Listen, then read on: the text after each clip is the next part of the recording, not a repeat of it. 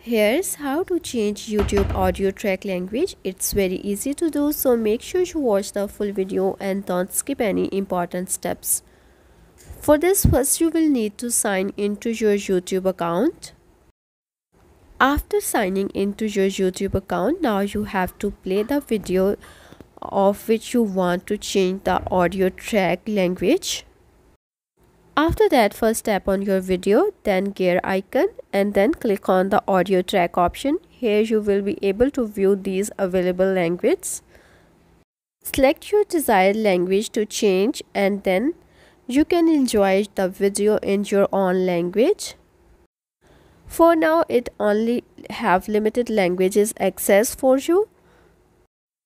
You can select any one of these available languages so that's how to change audio track language on YouTube. If you like this video then don't forget to like it and to subscribe our channel.